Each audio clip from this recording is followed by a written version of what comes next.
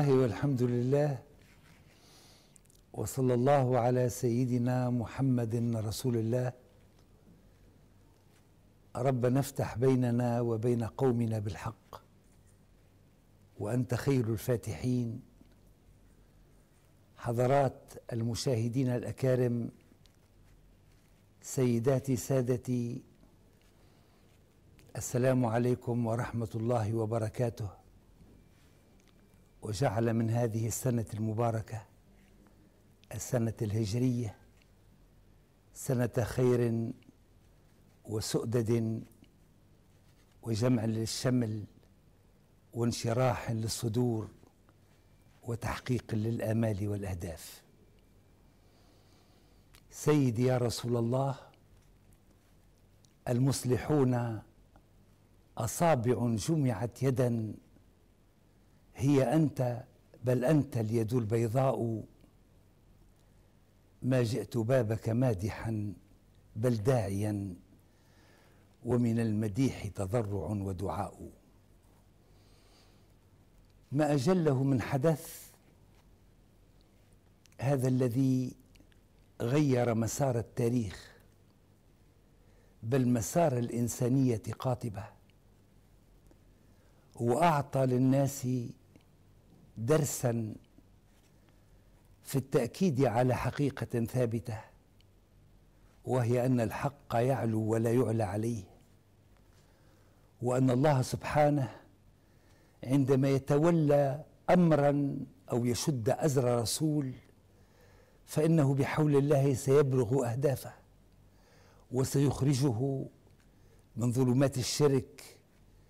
وتامر المتامرين وكيد الكائدين الى لحظات النصر والعز كانت حضرات المشاهدين الاكارم كانت حادثه الهجره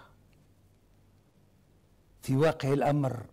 حادثه كبرى في تاريخ الانسانيه بل في تاريخ مسيره رسولنا صلى الله عليه وسلم الذي بذل الجهد للقضاء على الشرك ولتوحيد الناس ولاخراجهم من الضلاله ومن الاستعباد ومن القهر الى الاخوه والسماحه والتسامح ووحده الله لا غير والاعتزاز به والاعتداد لكنه صلى الله عليه وسلم وجد من خصومه وكانوا كثرة خصوم هؤلاء الذين تمكنوا من الأرض ثراء وجاها وقوة قابلهم النبي صلى الله عليه وسلم بقلة من العدد لكنه كان يصر على أن يبلغ رسالته لقول الله تعالى فاصدع بما تؤمر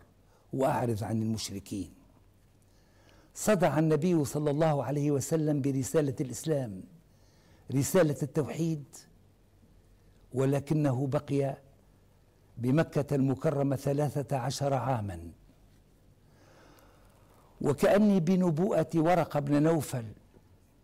عندما قال له في أول قصة بدء نزول الوحي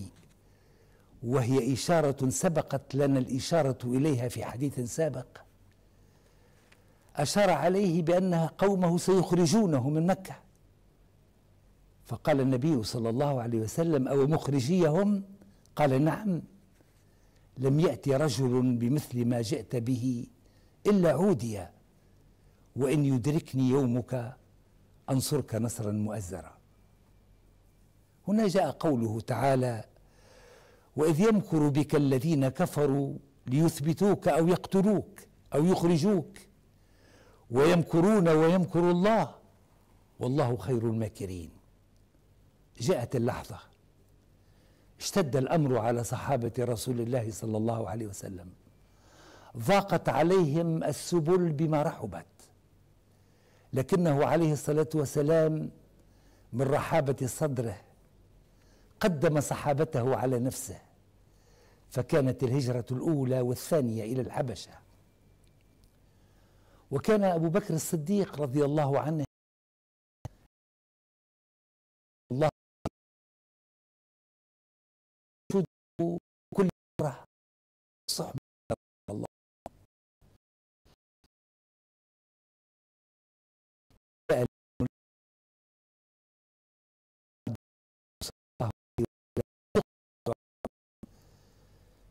كما أخرجك ربك من بيتك بالحق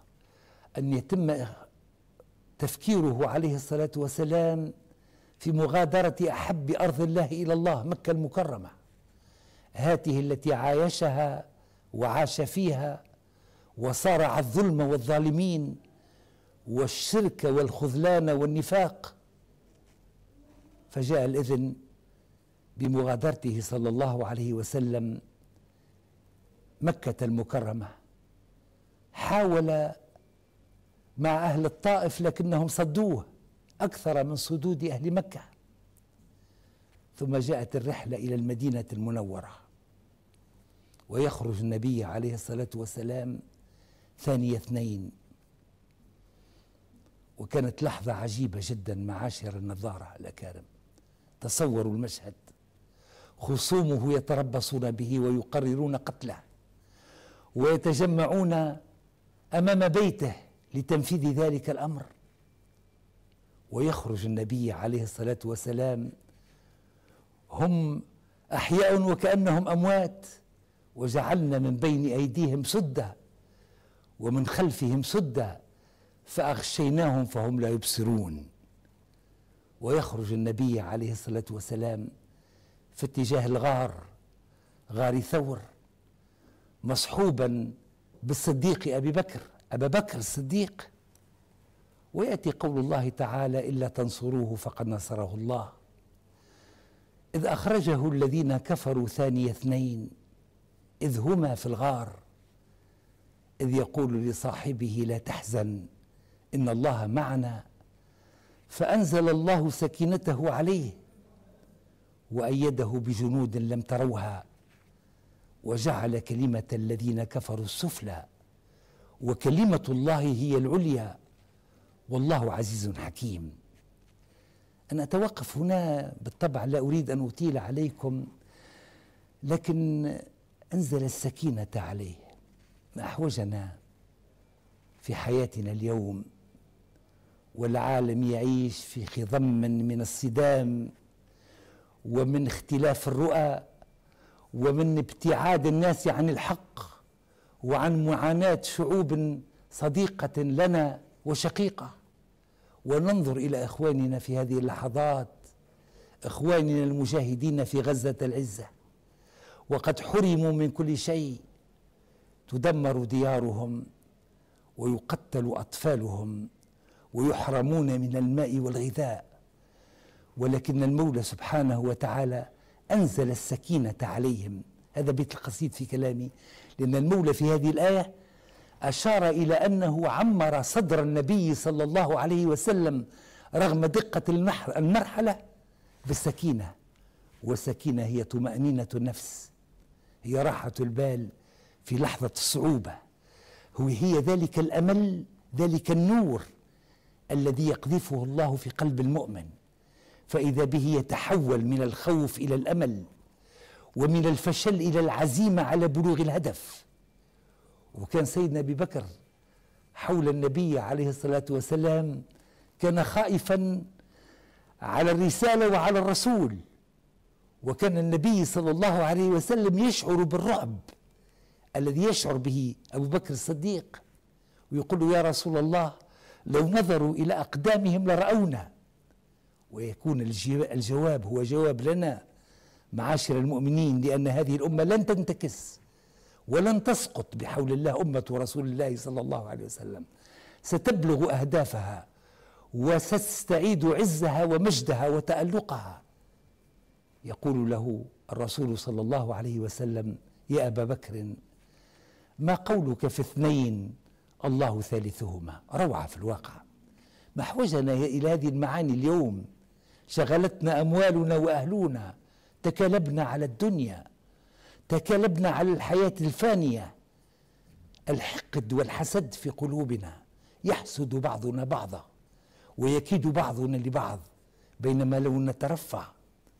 ونرى رسول الله صلى الله عليه وسلم في شموخه وفي رفعته وفي عزته وفي طمأنينة قلبه ما يجعلنا ننشرح ونعيد الأمل ونعيد التفاؤل الى شبابنا والى وطننا والى الامه الاسلاميه في مشارق الارض ومغاربها لانها امه لن تنهار اطلاقا بحول الله امه عزها وشموخها في طلعتك المباركه يا سيدي يا رسول الله ويدخل النبي عليه الصلاه والسلام الى المدينه المنوره يثرب كانت قاتمه كانت على غاية من البؤس ومن التعامل المالي اللي فيه استغلال القوي للضعيف وفيه من الشرك وفيها من النفاق ولما دخل النبي صلى الله عليه وسلم إلى المدينة المنورة تحول الوضع من الظلمة إلى النور إنه نور رسول الله صلى الله عليه وسلم إنه إنها إشراقاته المباركة التي يلمسها كل مسلم اليوم إن شاء الله ربي يسر لنا مجددا نسلم على رسول الله صلى الله عليه وسلم في روضته لندرك ذلك الشموخ وتلك الإشراقات المحمدية في كل مكان من مدينته المنورة ويدخل النبي عليه الصلاة والسلام وتكون اللحظة في واقع الأمر التي أختتم بهذا اللقاء المبارك فإذا به هو بين طائفتين بين مهاجرين وأنصار بين مهاجرين تركوا ديارهم وأموالهم وأهلهم وأبنائهم نصرة نصرة للنبي للنبي صلى الله عليه وسلم افتقدوا كل شيء وبين أنصار احتضنوهم كأن بالنبي عليه الصلاة والسلام يريد أن ينشر لنا رسالة رسالة الأخوة والتضامن ما أحوجنا إلى التضامن من لهم إمكانيات مادية إلى أن يعينوا الفقراء والمحتاجين من إخواننا لو تآزر بعضنا مع بعض في مجتمعنا اليوم لما وجدنا فقيرا ولما وجدنا محتاجا ولما وجدنا مؤسسة تربوية منهارة أو مؤسسة صحية كذلك لأن رسالة المواطن هو أن يصون بلاده أن يحفظ بلاده لا أن يكون أداة من أدوات دمارها وتخريبها ويأتي قول الله تعالى ليجسم هذا المعنى في قوله سبحانه للفقراء المهاجرين شوفوا الوصف هنا العجيب الذي توقف عنده أساسا العلامة الزمخشري في كشافه شوفوا الوصف هنا الفقراء لكن هم ليسوا بفقراء في حقيقة الأمر لأنهم أصبحوا فقراء من اضطهاد خصومهم لهم للفقراء المهاجرين الذين أخرجوا من ديارهم وأموالهم يبتغون فضلا من الله ورضوانه وينصرون الله ورسوله أولئك هم الصادقون والذين تبوأوا الدار والإيمان من قبلهم يحبون من هاجر إليهم ولا يجدون في صدورهم حاجة مما أوتوا ويؤثرون على أنفسهم ولو كان بخاصة ومن يوق شح نفسه فأولئك هم المفلحون ما أروعه من وصف قرآن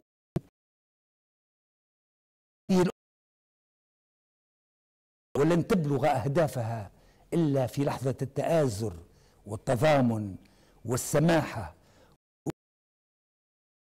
ما إلى هذا الدرس الذي نستمده من هجرة النبي صلى الله عليه وسلم أخرجوه منها وآواه غار وحمته حمامة ورقاء وكفته بنسجها عنكبوت ما كفته الحمامة الحصداء ومح المصطفى المدينة واشتاقت إليه من مكة الأنحاء كل أمر ناب النبيين في الشدة فيه محمودة والرخاء نسأل الله أن يشرح صدورنا ويتقبل أعمالنا ويجعلها سنة هجرية مباركة مليئة بالخير والنصر على سيادة رئيس الجمهورية وعلى مواطنينا في الداخل والخارج وعلى الأمة الإسلامية والعربية قاطبة وعلى الإنسانية وأساساً أن ينظر بعين رحمته ونصره وتأييده إلى إخواننا أبطال غزة الميامين أبطال فلسطين الشهيدة ربنا آمنا بما أنزلت